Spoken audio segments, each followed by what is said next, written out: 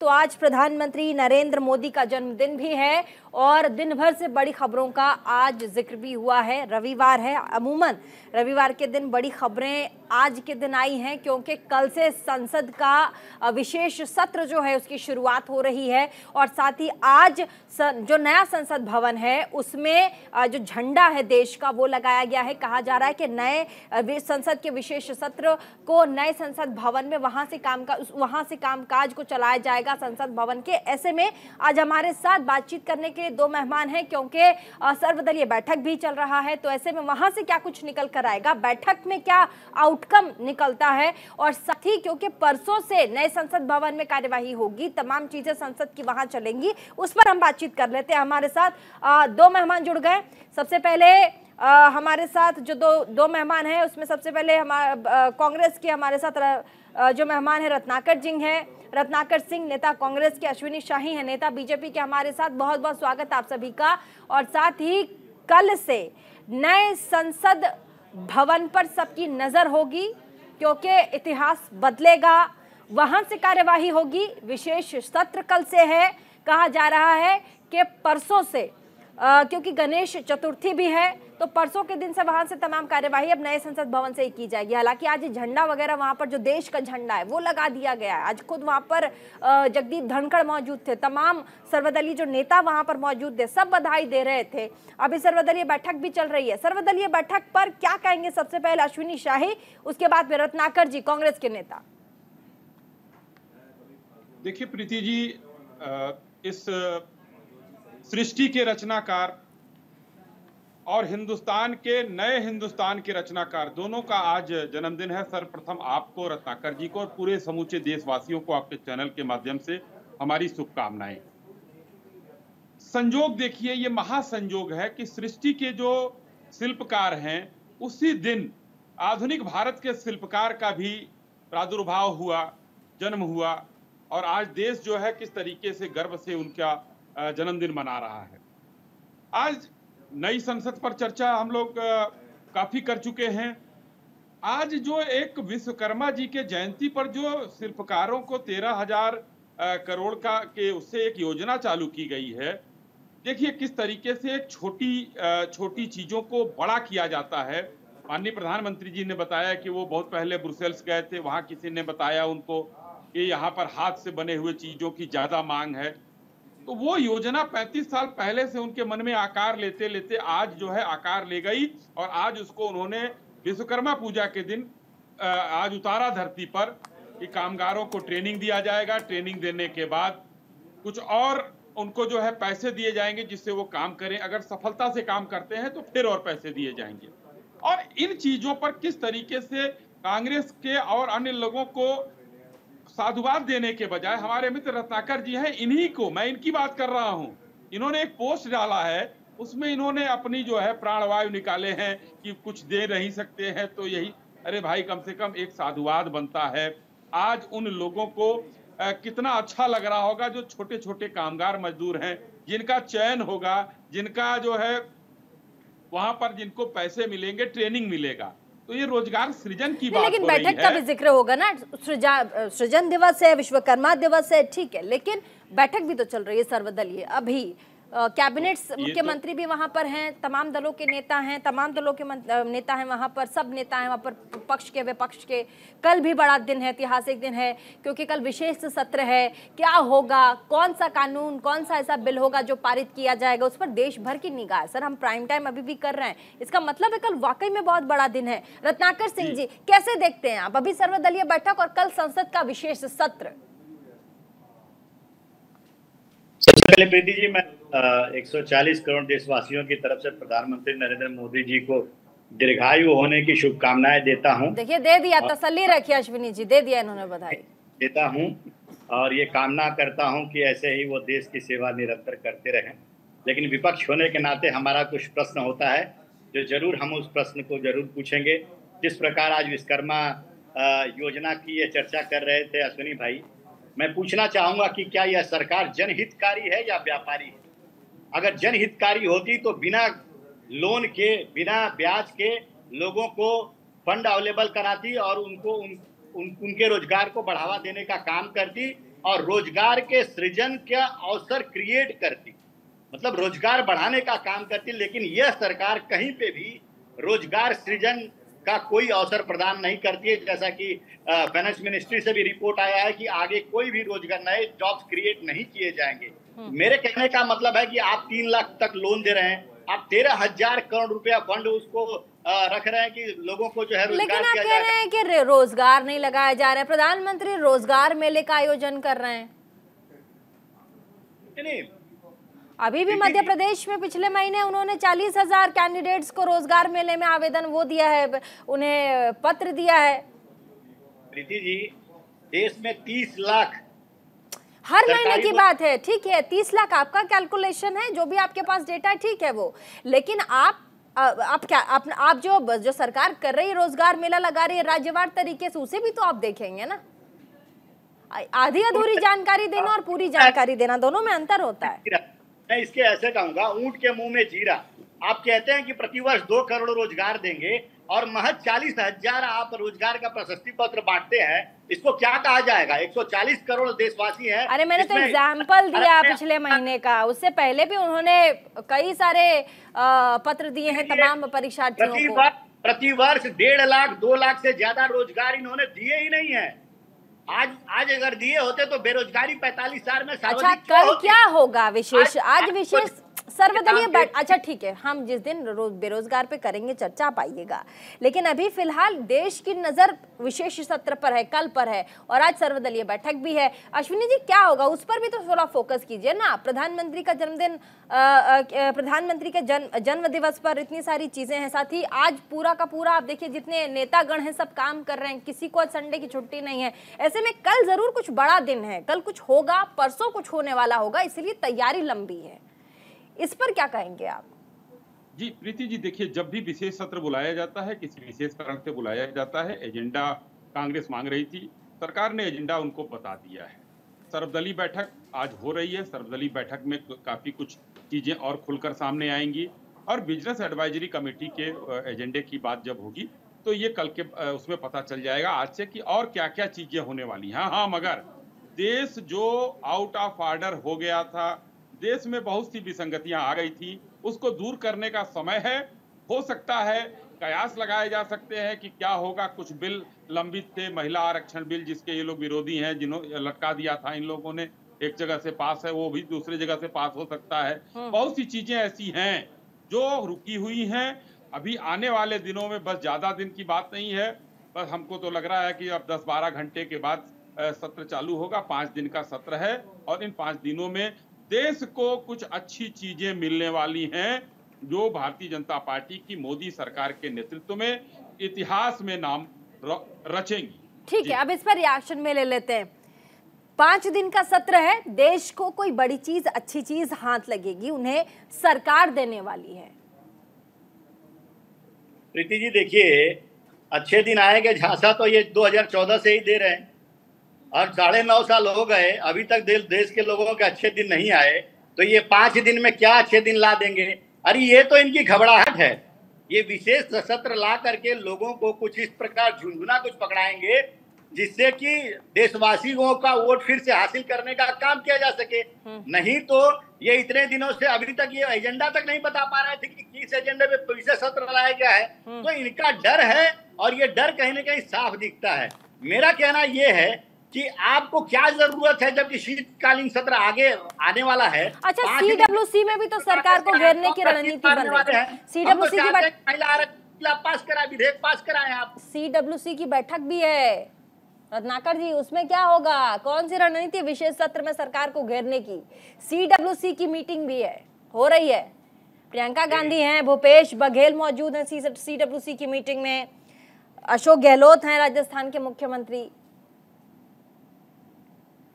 प्रीति जी, देखिए सीडब्ल्यूसी जो मीटिंग चल रही है, निश्चित रूप से उसमें देश के जो मुद्दे हैं, उन मुद्दों के ऊपर हम इस सरकार को ज़रूर घेरने का काम करेंगे, जिसमें सर्वप्रथम महँगाई और बेरोजगारी है, उसके बाद जो है चीन हमारी सीमाओं के अंदर घुस गया है ये सारे मुद्दे हैं, जो भारतीय जनता पार्टी कहीं ना कहीं इन मुद्दों पे ध्यान न दे करके दूसरे तमाम अनर्गल मुद्दे लेकर के आती है और कभी धर्म पे चर्चा कराती है, कभी सनातन पे वक्तव्य करके और अपना अपने इनके नेताओं का वक्तव्य फिर से आने लगता है। तो अनर्गल जो है बातों में लोगों को उलझा करके रखना देश के मुद्दों से ध्यान हटाना यही भारतीय जनता पार्टी की इस चीज़ में महारत है। और हम विशेष सत्र में ज़रूर मांग करेंगे कि महँगाई पे बेरोजगारी पे चीन घुसपैठ पे इन सब चीज़ों पे चर्चा हो जिससे कि देश के लोगों का हित हो सके। ठीक है अश्विनी शाह जी आप लोगों की अपनी तैयारी है विशेष सत्र की, लेकिन अब विपक्ष की भी अपनी तैयारी है विशेष सत्र की। वो सी डब्ल्यू सी की मीटिंग कर रहे हैं, बैठक कर रहे हैं। अब सी डब्ल्यू सी की मीटिंग में जो विशेष सत्र है, उसमें सरकार को घेरने का उनका एजेंडा भी साफ़ साफ़ रत्नाकर जी ने कहा कि आप अपने आप अपने बिल्स को लाइए पास कीजिए, पारित कीजिए आपका, लेकिन हम अपने चीज़ों को लेकर के विशेष सत्र का इस्तेमाल करेंगे, हम वहाँ जाने वाले हैं। आप लोगों की क्या तैयारी है? अगर विपक्ष ने आप लोगों को घेरा देखिए, विपक्ष का काम क्या है? विपक्ष वहाँ हल्ला करेगा और हल्ला करके वॉकआउट करेगा। तीसरा कुछ तो है नहीं, पिछले कई सत्र जो है, इस बार देखिए विशेष सत्र बुला लिया गया तो बाहर का वो टूलकिट का कोई एजेंडा नहीं आ पाया। एक एजेंडा जो सेट करते थे ये लोग, कभी सी है, कभी किस ग्रेटा थनबर्ग है, कभी सोरेश चाचा का पैसा है, बहुत सी चीज़ें चलती थी। लेकिन वो अभी टूलकिट सेट नहीं हो पाया क्योंकि ये विशेष सत्र अचानक बुला लिया गया। और अब देखिए इन लोगों का प्राण वायु निकालना किस तरीके से रत्नाकर जी कह रहे हैं कि अभी ये चर्चा करेंगे। मुझे तो लगता है कि कांग्रेस को अभी अपनी कांग्रेस बचाने की ज़रूरत है। कांग्रेस में इतनी भयानक बगावत है प्रीति जी ये सीडब्ल्यूसी में दिख रहा है। हरियाणा, पंजाब, छत्तीसगढ़, राजस्थान, यहाँ के कम से कम एक दर्जन से ऊपर नेता जो है पार्टी छोड़ने की तैयारी कर रहे हैं। ये लोग अपनी चीज़ देख रहे हैं वहाँ। उस सीडब्ल्यूसी में कुछ देश के लिए नहीं है। देश के लिए तो मोदी जी इस समय एकदम जो न्यौछावर कर रहे हैं अपने आप को। देश के लिए कांग्रेस कहाँ सोच रही है? कांग्रेस अपने लिए इंडिया अलायंस जो है ये जो इंडिया अलायंस है ये भारतीय जनता पार्टी जो है लगी हुई है कि अपना अस्तित्व हम किस तरीके से बचाए? अपने अस्तित्व हम कैसे बचा लें? वही अस्तित्व बचाने की लड़ाई हो रही है वो चाहे सीडब्ल्यूसी के माध्यम से हो या आप देखिए मुंबई में बैठक हुई एजेंडा सेट हुआ सनातन पर अटैक हो गया और सनातन को मिटाने की बात हो शुरू हो गई इंडिया अलायंस की। तो ये सब चीज़ें देखने ठीक है लेकिन अश्विनी जी बहुत बहुत एक सवाल एक सवाल है जो मन में अभी ऐसे तमाम लोगों के जो भी पॉलिटिकली बहुत ज़्यादा साउंड है उनके दिमाग में आ ही रहा होगा कि ठीक है सर्वदलीय बैठक तो आपने बुलाया। सुबह भी प्राण प्रतिष्ठा नए संसद भवन की की गई तब भी तमाम बड़े बड़े नेताओं को बुलाया गया वो भी पहुँचे। अधीर रंजन चौधरी इतने बड़े क्रिटि मतलब आप लोगों को मतलब क्रिटिसाइज किस तरीके से करते हैं आपको पता है, लेकिन वो भी पहुँचे, तमाम लोग वहाँ पर पहुँचे। लेकिन मीटिंग सर्वदलीय, मीटिंग करना, सर्वदलीय बैठक बुलाना और आपसी सहमति से जो मुद्दे होंगे विशेष सत्र पे, उसमें मन से मन को जोड़ना, मन से मन को मिलाना, ये कैसे करेंगे आप लोग? कर पाएँगे? प्रीति जी, देखिए, ये एक प्रोटोकॉल होता है, जब भी सदन का सत्र आहूत किया जाता है, उस समय सर्वदलीय बैठक होती है और सबसे चर्चा होती है कि ये चीज़ें हम रखने जा रहे हैं और इनमें आप लोगों का भी सहयोग चाहिए। अब विपक्ष के ऊपर है कि देश के अच्छे कामों में सहयोग करेंगे या मारीच और सुबाहु की तरह उसमें जो है विघ्न फैलाएँगे। अब वो उनके ऊपर है, क्या कर रहे हैं? वो अब ये आने वाला कल बताएगा, पाँच दिन बताएगा, ये क्या करेंगे? क्योंकि दो, देखिए 2023 जो है, बहुत अच्छी अच्छी चीज़ों को लेकर आया है। हम हिंदुस्तान को कहाँ ले आकर खड़ा किए हैं? देखिए, अभी इतनी शानदार जी ट्वेंटी की बैठक हुई। क्योंकि कांग्रेस अपने जी ट्वेंटी थ्री से परेशान थी, इसलिए जी ट्वेंटी का आनंद नहीं ले पाई। तो आने वाले दिनों में अब ये प्रोटोकॉल का एक ये है कल से सवेरे से देखिए अधीर रंजन जी चाहे जो भी खड़गे साहब हैं ये सब लोगों को बुलाया गया। खड़गे साहब पता नहीं शायद वो सीडब्ल्यूसी में आए थे मैं कंफर्म नहीं हूँ लेकिन सारे दलों के जो लोग थे वहाँ आए हैं।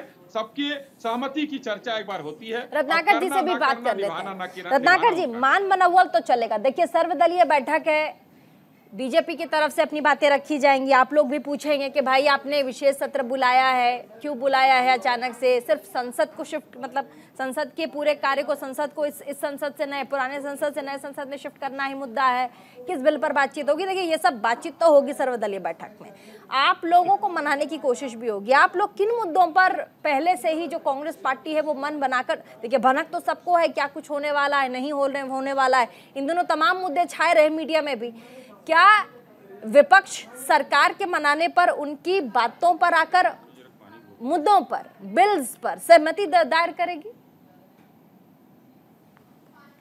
देखिए प्रीति जी, हाथी के दांत दिखाने के और खाने के अलग अलग जब भी सत्र शुरू होता है, तभी भी ये लोग आपसी सहमति में हर चीज़ स्वीकार करते हैं कि हम महँगाई पे चर्चा करेंगे। पिछले ही सत्र की बात है, महँगाई पे चर्चा करेंगे, बेरोजगारी पे चर्चा करेंगे। लेकिन जब हम चर्चा करने के लिए जाते हैं तो ये चर्चा नहीं करने देते हैं, उस चीज़ पे चर्चा नहीं होती है। अभी मैं आपको याद दिला दूँ, निशिकांत दुबे जी ने, जब महँगाई पे हम सवाल पूछ रहे थे तो निशिकांत दुबे जी ने क्या कहा कि देश में महँगाई है ही नहीं। तो ये जो देश में जनता से जुड़े हुए मुद्दे हैं, जो जनता जूझ रही है जिन चीज़ों से, उनको एक सिरे से नकार देते हैं और ये अपनी चीज़ों को लेकर के आते हैं यहाँ पे। और अपने जो है संख्या बल के आधार पर बिलों को पास कराते हैं। चाहे कृषि कानून ले लीजिए ये विपक्ष की सुनते कहाँ हैं? अगर सुने होते तो कृषि कानून बिल भी जो लेकर के आए उसको वापस करना पड़ा अगर तो कहीं ना कहीं ये ये संख्या बल के आधार पे और पारित कराया।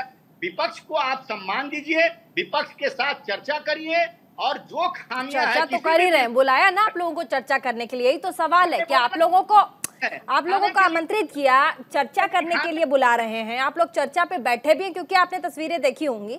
जो बैठक चल रही तमाम सर्वदलीय उन पर तमाम लोग हैं विपक्ष के भी पक्ष के भी। अब मन मिलने की बात है मन मिलने की बात है। मन कितना मिलता है? ये दिखाने वाले दांत है मैंने पहले भी कहा तो आप ये, ये कह रहे हैं कि आप लोग बस दिखाने के लिए बैठे हैं लेकिन मन नहीं मिलेगा आपका जो एजेंडा है वो आप करेंगे भले देश हित में कोई बिल आया हो।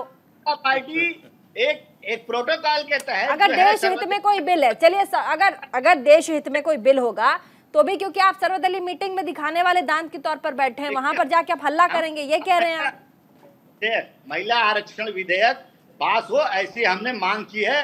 पवन खेड़ा जी ने भी प्रेस कॉन्फ्रेंस करके कहा है कि महिला आरक्षण विधेयक जो है वो पास किया जाए। तो हमारी मांग है कि महिला आरक्षण विधेयक जो है आप पास करिए आप महँगाई पे चर्चा करिए बेरोजगारी पे चर्चा करिए चीन जो हमारे अंदर सीमा के अंदर घुसा हुआ है उन सब चीज़ों पे चर्चा करिए देश के हालात पे चर्चा करिए। आप बिल लेकर आते हैं अपने अपने हिसाब से और पास कराकर चले जाते हैं चर्चा कुछ होता ही नहीं। हम अगर मांग करते हैं अपनी चीज़ों पर चर्चा करने के लिए आप भाग खड़े होते हैं और की मीटिंग में सीडब्ल्यूसी की मीटिंग में कौन से बड़े फैसले लिए जाएँगे? क्या रणनीति होगी? कुछ पता है आपको? रणनीति क्या होगी? अगर कुछ अपडेट है तो बताइए।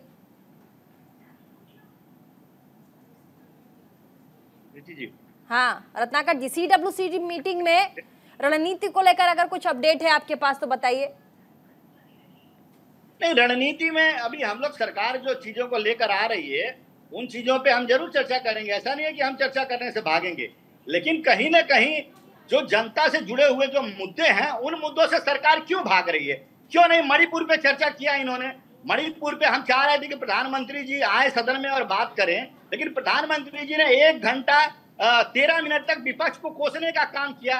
दो मिनट सिर्फ़ मणिपुर पे अपनी सांत्वना व्यक्त की। हम पूछना चाह रहे थे वहाँ पे कि इकहत्तर दिन हो गए थे और आप आप वहाँ पे गए क्यों नहीं? है मणिपुर पे एक शब्द क्यों नहीं बोला? क्योंकि हमारे देश की महिलाओं की जो आ, जो जिस प्रकार जो मान मर्दन किया जा रहा है उसमें कहीं ना कहीं विपक्ष जो है उस पर सरकार पे अश्विनी जी काउंटर करना चाह रहे जल्दी से। अश्विनी शाही जी प्रीति जी देखिए ये हाथी के दांत दिखाने के और खाने के और बहुत सही शानदार चीज़ कहा रत्नाकर जी ने। मणिपुर पर इतना ड्रामा नाटक इन लोगों ने किया कहीं कोई सिंपैथी नहीं थी। पूरा विपक्ष की बात मैं कर रहा हूँ। आप प्रीति जी इस समय जो है आप लोग ऐसी जगह बैठे हैं रिकॉर्ड सारे आपके पास है। आप निकलवा लीजिएगा। कुल मिलाकर 10 परसेंट भी किसी ने बात की हो अगर मणिपुर पर विपक्ष के नेताओं ने। और अंत में जब माननीय प्रधानमंत्री जी बोलना शुरू किए तो ये लोग वॉकआउट कर गए और वो लगातार बोलते रहे उसके बाद मणिपुर पर। तो हाथी के दांत ये है दिखाने के और ये है खाने के। और बार बार ये कहते हैं, महँगाई, बेरोजगारी और इस पर चीन घुस आया है। अरे चीन को तो जवाहरलाल नेहरू जी ने घुसाया था। तब से घुसे हुए हैं। दूसरी बात, सदन की, अरे रत्नाकर भाई रुक जाइए। सदन की एक बात जो है प्रीति जी मुझे याद आती है आजकल बड़ा चल रहा है। योगी जी बैठे हुए थे माननीय उत्तर माननीय मुख्यमंत्री योगी जी उत्तर प्रदेश के बैठे हुए थे सदन में और इसी इंडिया अलायंस के दो नेता मुलायम सिंह यादव जी और लालू प्रसाद यादव जी कहते हैं साधु बाबा ए साधु बाबा साधु भी रहेंगे और एमपी भी रहेंगे। ये लालू प्रसाद यादव जी के शब्द थे और मेरे पास है मैं आपको भेज दूँगा। ये सदन में इस तरीके की चीज़ें ये लोग किया करते थे। क्या कहेंगे ये लोग? ये कांग्रेसी और यूपीए के लोग माननीय मुख्यमंत्री को जो सांसद थे उस समय चलिए जल्दी से रत्नाकर जी का रिएक्शन ठीक है जल्दी इस से। तरीके से बात करते थे रत्नाकर जी, आज जल्दी से। आज ये इस तरीके से चिल्ला रहे हैं। अरे हाथी के दांत इसीलिए आज आप बहुत स्पष्ट रूप से बता रहा हूँ पार्टी संभालिए। अच्छा रत्नाकर जी का रिएक्शन ले लेते हैं बोलिए। पिछले साढ़े नौ साल से आम जनता बहुत सारे ऐसे मुद्दे हैं जिसपे आम जनता को राहत देने का काम भारतीय जनता पार्टी नहीं कर रही है। राहत के नाम पे सिर्फ़ ये लोग लोन बांटने का काम करते हैं चाहे कोरोना काल में बीस हज़ार करोड़ लोन देने तो का बात हो, पैसा चाहे बांटने से विश्वकर्मा बेहतर लोन बांटिए उसको करेंगे लोग उसको वापस करने का एक। उत्तरदायित्व होगा। ठीक है ठीक है कम से कम आज ठीक है शांति से सर्वदलीय मीटिंग चल रही है। आप लोग भी सर्वसम्मति से एक दूसरे के साथ आराम आराम से भी जवाब दे सकते हैं। बहुत बहुत शुक्रिया तमाम मेहमान हमारे साथ। आपने बातचीत की। और साथ ही एक बार फिर से हम सभी की तरफ़ से प्रधानमंत्री नरेंद्र मोदी को जन्मदिन की बहुत बहुत शुभकामनाएँ। छोटे से ब्रेक के लिए कहीं मज़ा आएगा। देखते रहिए न्यूज़ ऑन ट्वेंटी फोर